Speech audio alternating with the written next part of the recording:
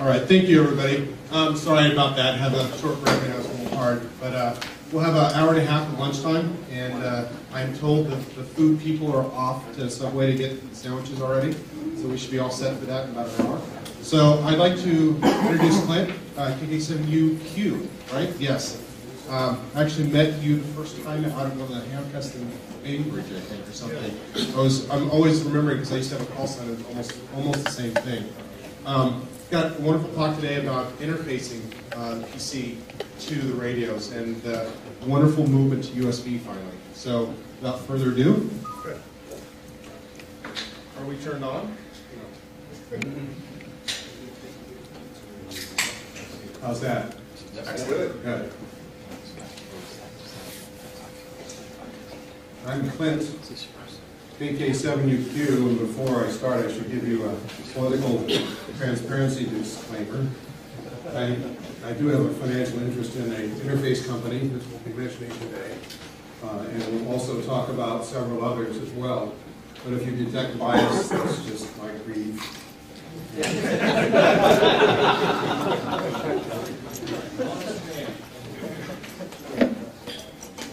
I'm going to uh, start the pointer here in the 1990s and ignore the stuff that went on prior to that because really in the, in the 90s we started to see the, the transition to using the, the PC as one of the main elements in uh, amateur radio interfacing, primarily the sound card, but also serial ports and control ports uh, that are used to uh, do things like push to talk and that sort of thing.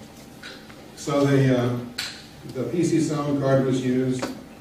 Uh, serial port was used primarily for push to talk. Some people used it for CW. Some people might even use it for FSK. Uh, there were some people who actually used Vox from their transceiver as a push to talk mechanism.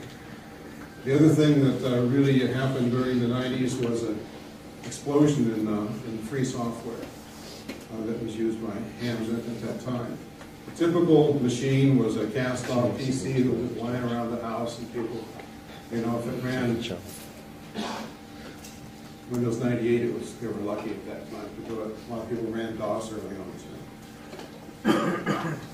So, so where we are today in the uh, latter part of the first decade of the new century, I never thought they'd say that.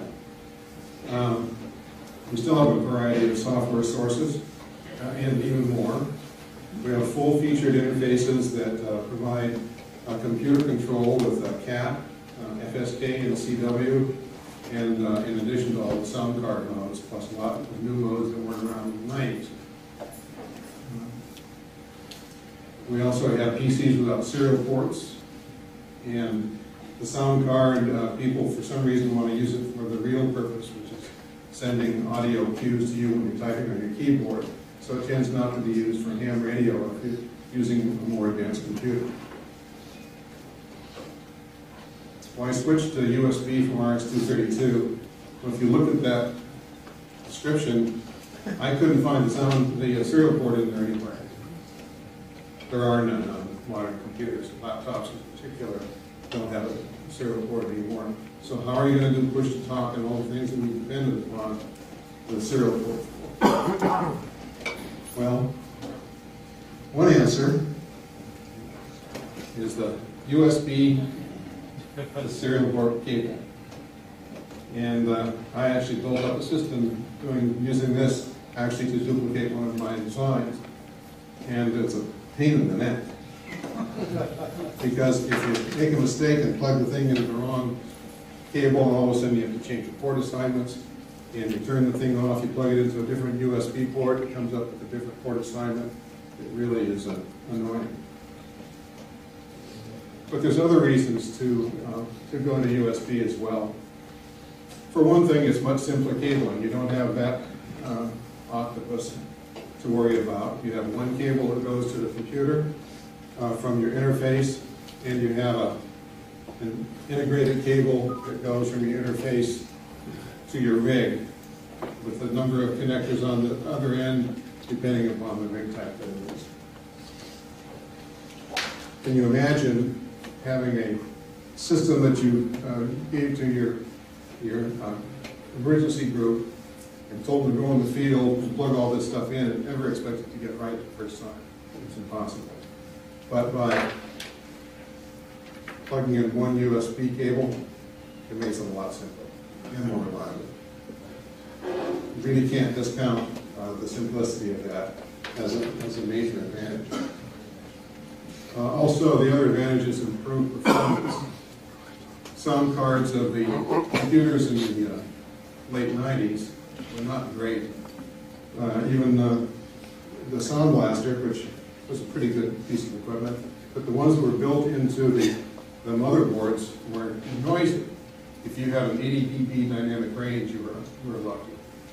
That's not so true anymore. Um, The laptop that I had here earlier has an excellent sound card with a good 100 dB dynamic range. Lower cost, uh, that's debatable. Um, By designing an integrated USB-based system, you can certainly beat the cost of individual components that you would buy, like a bunch of converters, an external sound card, and that sort of thing. But the, the overall cost uh, is probably about the same.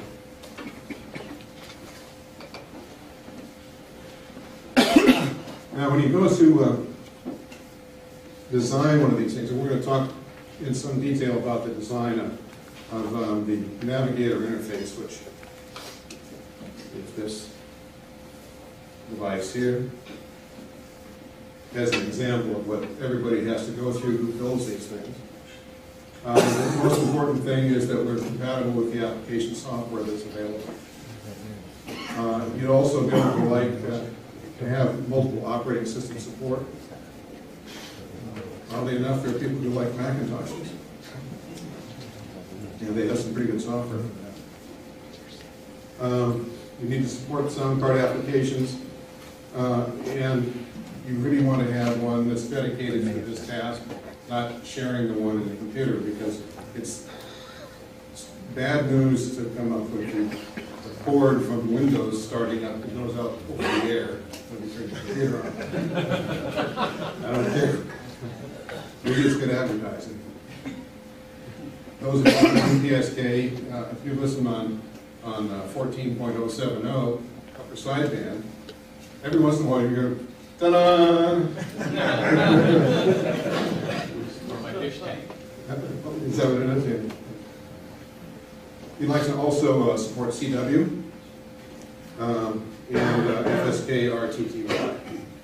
Uh, The the, uh, AFSK RTTY has been around for some time on uh, PC applications, Uh, but people who are really serious about uh, RTTY contesting really want to use the FSK to take advantage of the filters that are in their uh.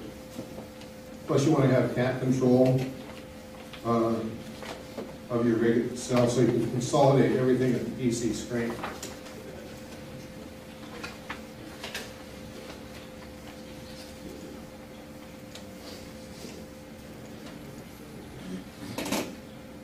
This is a list of uh, application support, uh, application software that is available today, um, and there's others that I haven't even mentioned here. Um, Somebody mentioned earlier that they stopped counting after 12. That's almost there.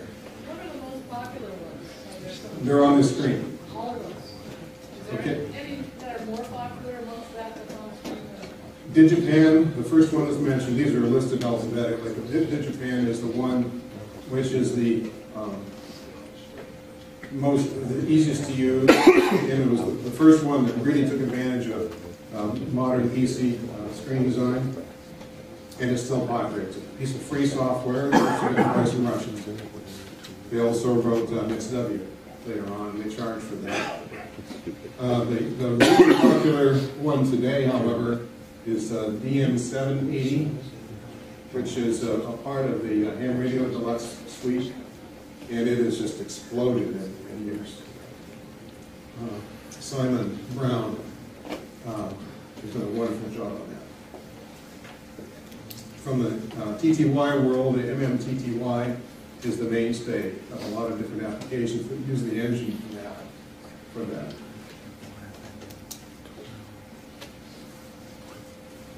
And Hamscope uh, still maintains a lot of its popularity as well. Okay, the point here is that these software packages drive the design of the hardware, because you have to be compatible with them. And so the, the basic uh, port addressing model, which comes from all this different uh, software, is, uh, is this. Um, You need to have a dedicated channel for uh, cat control. And it typically needs to run up to uh, 150 kilowatt, although most applications run 9600 or 19.2. Uh, You need to have a separate port with assignments for the two control bits for push-to-talk and CW. And that's usually uh, the request to send line, RTS, and data terminal ready line, DTR. The data channel on that one uh, A third channel is, uh, third port is for CW. In this case, I've shown WinKey as an example of that. For people who are really serious about CW, they like, they like to have a, a high-end controlling element for CW where you can set all the different parameters. And the, uh, the WinKey 2 by K1EL uh, is a really popular one, and it requires a serial port. And then finally, uh, you need a separate, yes, He does he does the USB version of this as well? yeah. Yes, he does. The WinKey 2 dash USB is that, and it supports actually two transceivers, you can have stuff for both. It's also built into that interface. Uh, FSK uh, RTTY uh, is a, is a separate required as well, and then you really would like it to run at a true forty-five point four five baud, which as far as I can tell, none of these devices will run at. It's. So you need to solve that problem. A couple of additional requirements for ports are uh, an auxiliary RS-232 for people who still have stuff there that they want to use, like their antenna or motor controllers, uh, or packet radio. If they don't have a dedicated uh, uh, data channel, that they can, they can go to a packet system for picking up DX spotting and stuff like that. And then finally, um, if you can configure the interface internally, uh, that requires a port as well. So we're looking at five ports here, six. Okay, the cat port uh, is a serial data port. Uh, typically runs in the 9600, 12, 19.2 uh, baud range.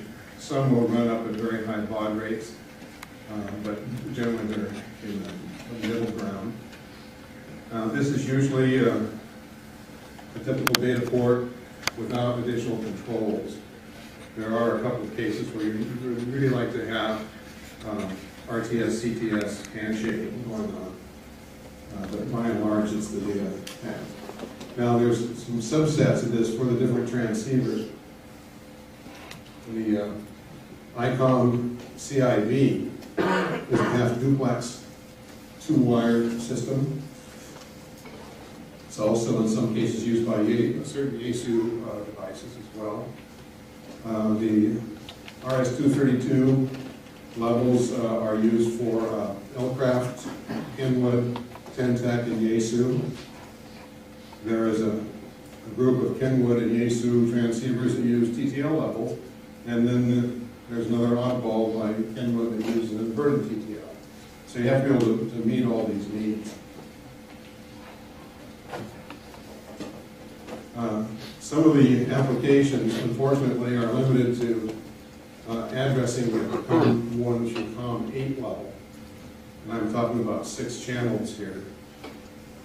Um, Which means that you may have to reassign some ports if you have other conflicting devices that are already using ports in that range.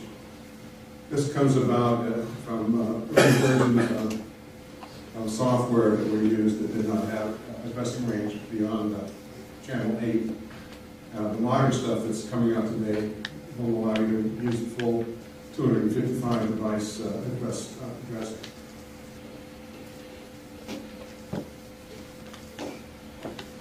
Okay.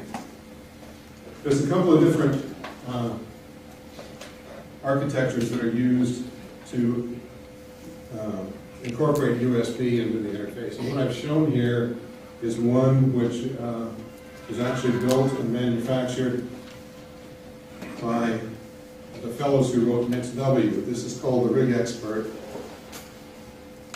It's two sides of a small board. It had, it requires a single USB connection.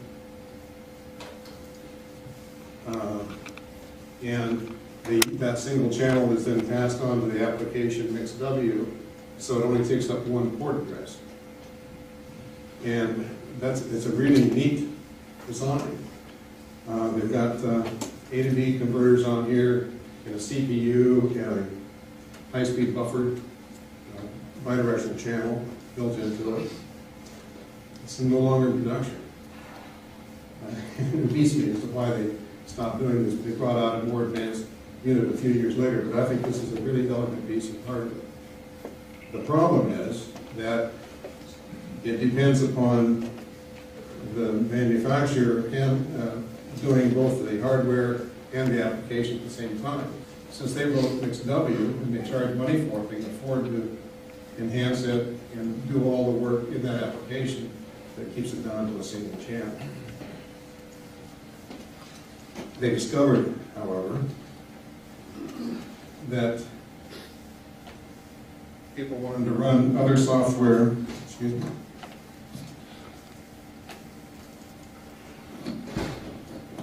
wanted to run other software than MixW. Can you still hear me? Getting in now. Um, And so they added a piece of software, the router level, that basically takes that single channel and creates virtual ports that look like a bunch of independent ports that can be addressed and assigned to uh, different tasks, so that uh, programs like MMTTY and Digipan and some of the others could use this as well. With the same piece of hardware, they brought out that layer of software to do the same thing. Still a good design. And then there's the other approach. Uh, I come from the hardware design world, so if there's a hardware way to do it, you choose that over software by definition. Uh, This uh, device here is such a device. It has an integrated hub, it has dual channel UARTs, it has a, a sound system, it has an audio monitor, all kinds of things which justify it being four times the size of the one on the on the side here. Good news is that the, uh, all these devices come with drivers that are already approved and running and, and controlled by somebody else, in this case, uh, either Microsoft or other people in Linux or Mac world. And so it's possible to use the building block elements and build a pretty straightforward design. When it came time to decide if we're going to go ahead with this project and build this, we looked at these two models, and from our standpoint, there was really only one choice. Time to market was faster using the hardware model. The ongoing support costs for maintaining your own drivers is fairly expensive. It's not my design strength. Um, And so all the little checks on the right-hand side uh, really would lead us to, um, to that particular approach. The one on the left, however, um, the manufacturing cost is the one trade-off that we chose to make. To accept something that is more expensive to manufacture, the flexibility and, uh, and control. So that's what this looks like. We chose this case size intentionally, so you can stack it, like on seven oh six on top of it, or seven thousand, or any of the small transceivers. Um, It's disk space um, sometimes is at a premium, and so you can stack your tuner, and your interface, and your transceiver, and something gets hot, it's an advantage. One of the markets that we had for this product is in uh, EmComms. Uh, We have a bunch of people on the East Coast that use this throughout their emergency communications groups. And they really wanted to the rugged as well. So, the requirements uh, for this were, we wanted a single USB connection, uh, which meant, and we needed a four-channel hub to be able to get all the ports we wanted. We wanted to be able to sequence the power uh, off the USB uh, at the hub control level so that when it started up, it drew small amounts of current until it was registered on the system. And to keep the power requirements as low as possible, consistent with what we're doing. This is typically about 160 mil draw device, which for a four-channel hub is way under the spec. And no additional power supplies were also a requirement, no wall boards. You should have a sign that had one inch wall boards.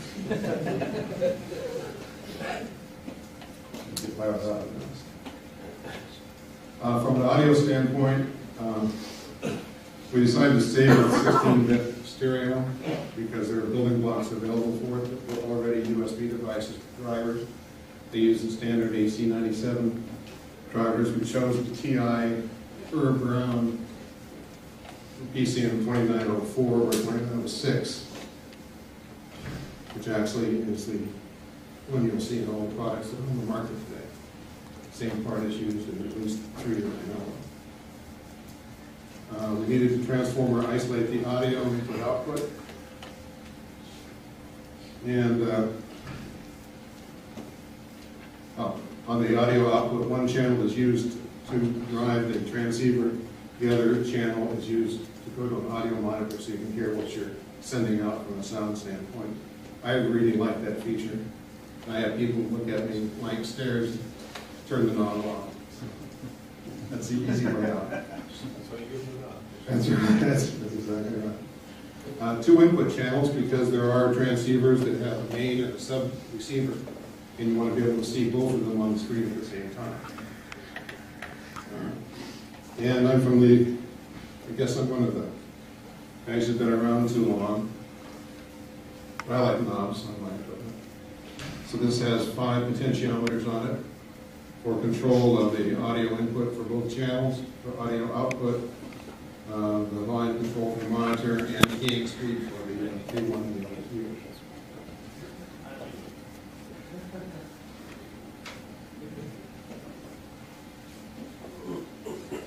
Audio, um, we- our design goal was to be able to run from 100 hertz to uh, over 5 kilohertz, consistent with the sampling rate of, that you select. And that's pretty well handled in the driver itself, um, as far as the, the audio part is concerned. There are applications that will run over 2,000 uh, hertz wide signals, and they need to be able to have a reasonably flat response over that, that minimum. And there's gonna be some people that come out with something more than that, I'm sure. Now, from an operating mode standpoint, uh, we need to handle all popular sound card modes. And the good news is that a general purpose um, sound device, uh, pretty well fit in that category. RTTY was considered to be yeah, important, um, using true uh, FSK mode uh, with 45.45 watts, so we built our own chip inside, the it's a general purpose chip that uh, used for other things as well, but it does take five-bit code, uh, Mono code, and convert it into a standard FSK at the right rate. And finally, uh, we want CW using uh, K1E Ultimate Tier 2. Now, um, I mentioned earlier that the WinKeyer 2 is- is available in a package, which is uh, USB-based, and it's set up to handle two different transceivers that be wired up at the same time, and just select which one you use. we only implement one channel. Speed control by a front panel pot. You can also use sliders in the software to adjust the rate as well. And it supports a trans, a transceiver with a linear amplifier. So it does generate a separate push-to-talk control that's steered to, to the linear amp to turn it on just before the key and leave it on after the last keystroke. And that's an opto-isolated one as well. Okay, uh, hardware push-to-talk control. Um, I mentioned earlier that some people had used Vox in the early years. Vox is not a very reliable method if it's using your transceiver. And the reason is that to get it to trigger reliably, you have to raise the audio drive level to the point that you start uh, getting clipping in your audio channel. Uh, And so your IMD goes up. There's a device, however, the Signal Link products build their own VOX into the interface, and that's a very reliable method of push-to-talk control.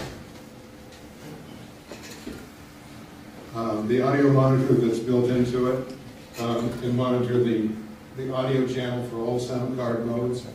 It also generates the FSK-like tone, so you can hear what it sounds like FSK keying, even though you're actually doing closure outputs going to the rig. Uh, and the CW also has a path for listening to the keystrokes. You can also turn that off if you use monitoring from the rig for either FSK or for CW. And the CAT uh, supports all copper transceivers, so, uh,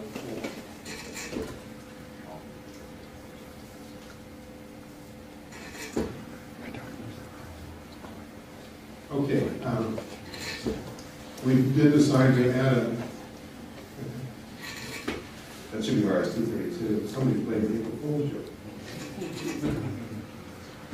Two thirty-two port, um, was provided for those people who have, uh, equipment that requires a, a true serial port. Uh, and I know people who use it both for packet controllers or for antenna rotator.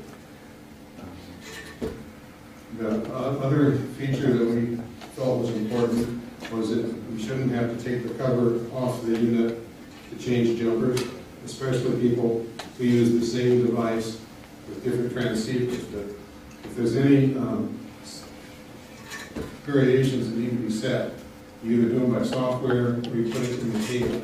So we can change the cables automatically at. And so we actually do screws. You can't find a screwdriver for them. Take it.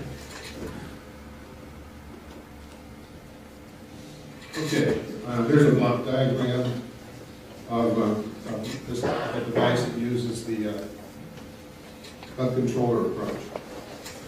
Um, The hub controller is four channels, and yet we get six ports in the audio out of it. And the way we do that is by using a part from FTDI, a dual USB UART.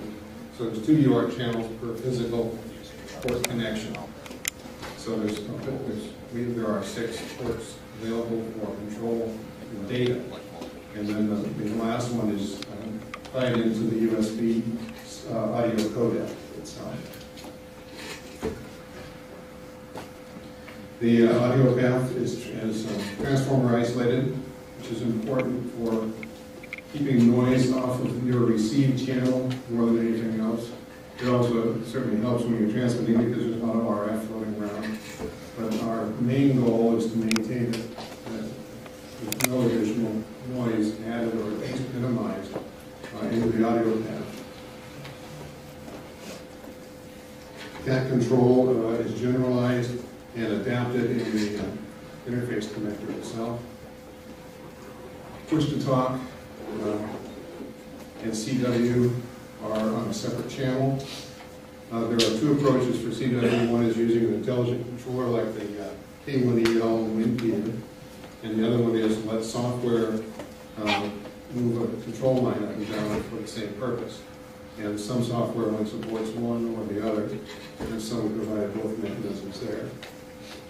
We also uh, provided an input uh, on the DCE line, in fact, several lines now, that can be used by EchoLink to know that uh, squelch has been broken on your rig.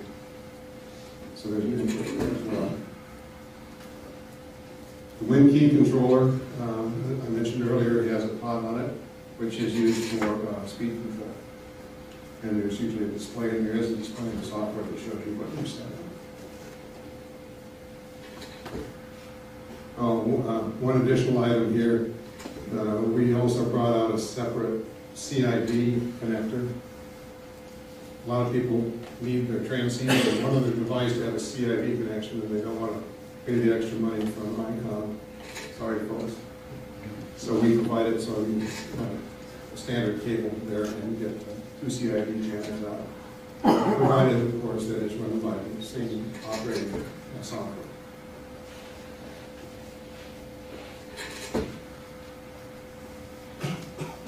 Uh, The building blocks that we use for hub controllers is Atmel 43301, which is a very nice little part.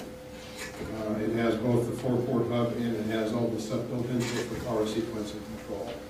And we use the Micrel uh, MIC 2025 power control chip to um, switch downstream voltage on after the hub has been uh, set up properly. Uh, Port devices are FTDI, the FT2232.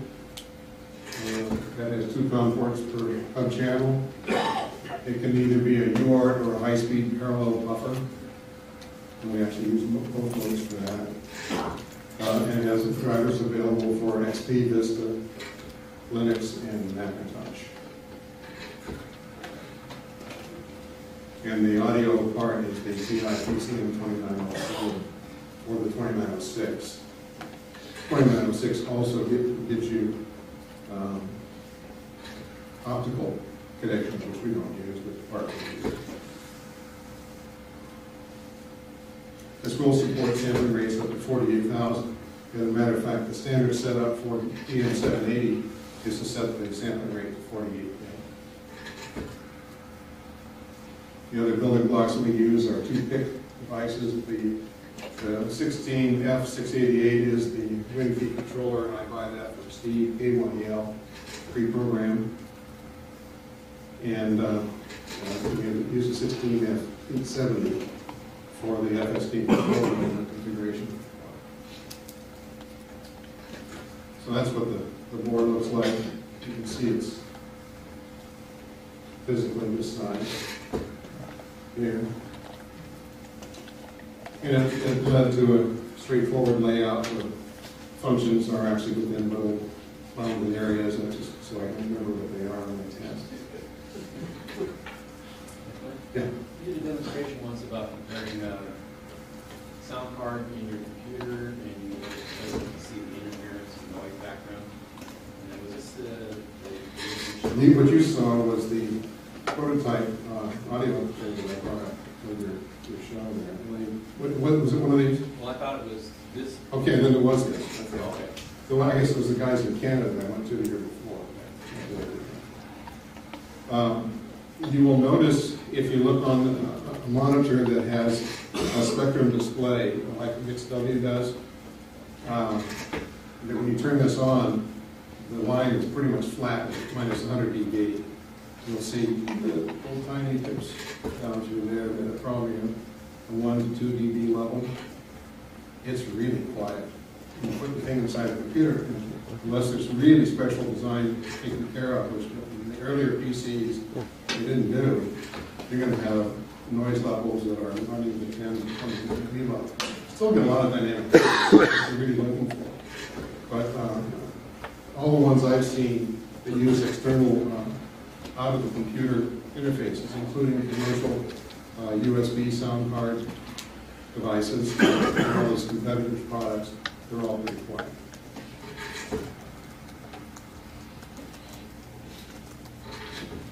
Okay, challenges.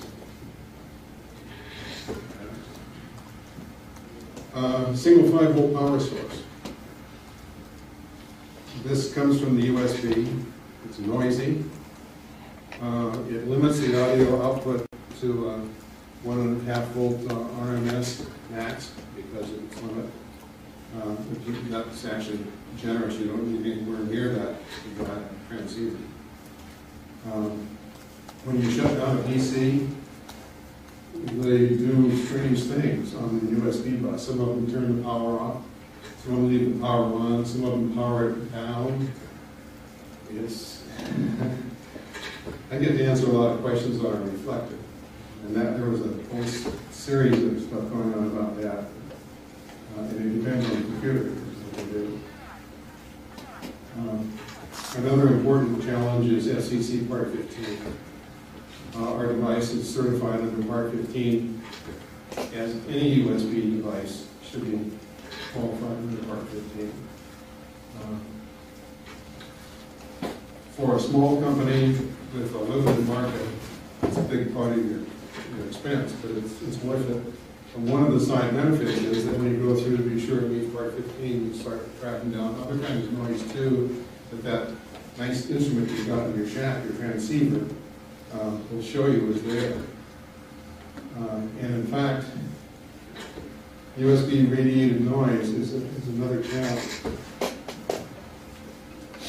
We've gotten so, we ship a cable like this with ferrites on both ends with every unit we ship. And it's amazing how this cleans everything up. Um, I have just been recently going through another, what we call glitch hunts. I had a a customer report that he saw a signal at, at fourteen point oh four four when the uh, cat started. And so, where is that coming from? Is it coming from the serial port that goes off to the rig and stuff like that? Well, it turns out to be, it was FCC, it was uh, USB noise. Um, And I did some testing about the ferrites, sure enough, there it was. About the same frequencies, he was saying there was actually a tone there, and then hash through here. Now, this is down at the sub S one level, so you only hear it on a really quiet band, it's still there. And guys who are working DX sometimes like to have no additional noise added. Ferrites really helped, but I found also that if you have other USB devices that aren't even tied to this, but that program is running and I'm doing a lot of polling loops on the UARTs for a cat. You see the noise on the other cables as well. So I advise him to switch over this kind of cable for all of his USB devices. He was happy to do it because it solved his problem.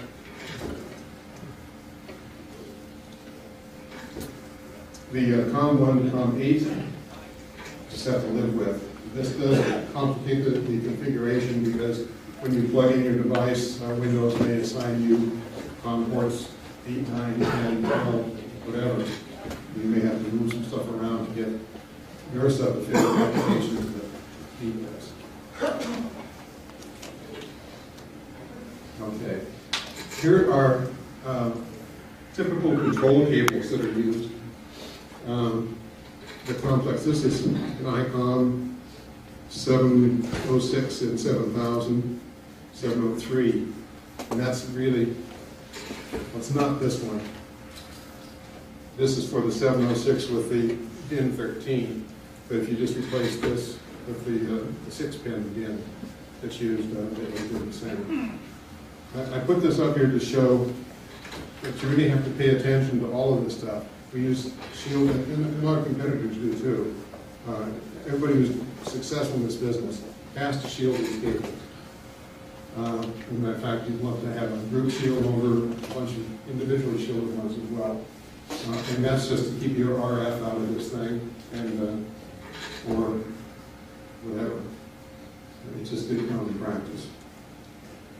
The Elecraft K3, Simon Brown um, recently did some work to uh, add our WinKey controller and some other devices in his DM780. He took control, took the delivery of K3 about the same time. And I I don't know if he's really fallen in love with this rig. He's- He's convinced me. So I'll be interested to see the, the next talk and and see a K3 in action. Actually look down there, that one small little rig was the K3. It's a beautiful little rig. Anyway, this is what, what the K three takes. Now, the K three has built-in uh, PSK thirty-one decoder into their system. Uh, Too bad they didn't put a USB port on it, too. I can understand that. How about one of your boards inside? I'm sorry? How about one of your boards inside? Well, it might be, it's almost as big as the K three. Actually, uh, we have uh, several customers using this with their K three and they like the combination really well. Here's a Yaesu. Different, uh, these things are, fortunately, we found a, a manufacturer of cables on the East Coast that's going to put up with all this stuff. Drives you nuts. Oh, man. This uses a bunch of RCA jacks. But that's fine. And that's for the uh, eight seventeen. Okay, I've got some references here now. I understand this is gonna be available on the, the server, um, later on. Um, here's some general references that I used in this presentation, uh, from MixW, uh, DM seven eighty, and then TTY, my own website, which has a lot of other information on it as well, just about general use and uh, digital stuff. And then here are the popular suppliers of equipment, uh, listed alphabetically. And the Black Cat is used with Macintosh. They, they have, they sell an interface, uh, with, uh, you know, I think it's primarily for cat control. Um, Most of these others will also work uh, with the Macintosh, provided you get the right operating system level and drivers for it. Uh, MFJ uh, sells uh, some devices, one of which is a USB. Microham, no relationship, I hope, to this organization, No. uh, from Europe. uh, We had it first. sells, uh, Quite a number of products that are used uh, in this world, and most of them are now USB based. The Navigator, which is sold by US Interface on the uh, East Coast, which is what we've been talking about. The SignaLink, which is made out in uh, Grants Pass, or Medford, Oregon, um, by Tigertronics. That that actually requires some special mention. Their device is called the SignaLink USB, and it requires a a single USB cable. It has an integrated uh, sound card device, as a matter of fact, the same one we use. Um, And then they do the push-to-talk control by sensing signal coming over that channel and turn on push-to-talk. And so there is no additional uh, port required for that. It's, they've built a reputation on that in their earlier products as well as uh, this new one, um, which worked very well. It's a nice product. They were one of the first to come out with uh, all surface mount technology in their uh, manufacturing several years ago. Um, And except, except for the fact they're in Oregon, probably.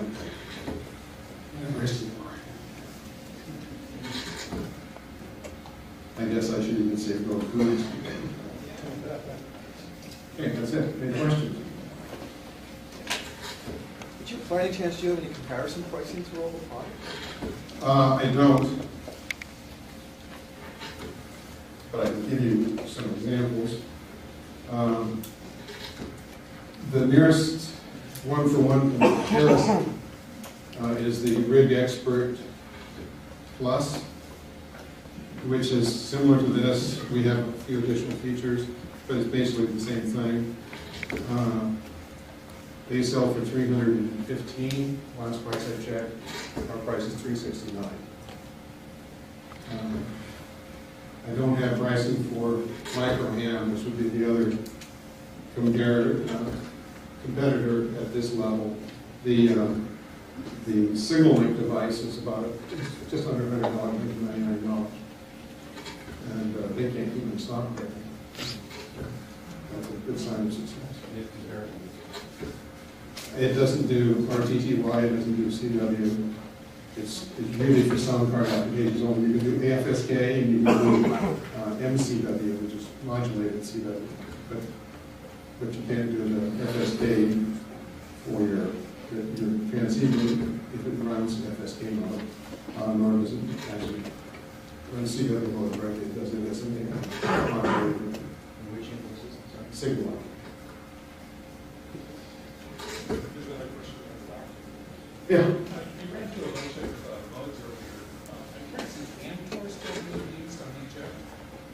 yes, Uh, I remember what. not very often, Not very often. but, uh, but it runs fine on these interfaces you saw. Did uh, Clover ever catch on? That was really- Didn't catch on with me, that was before my time. But it's, uh, it is also available through software. that runs on top. Any others? Good, thank you. Did you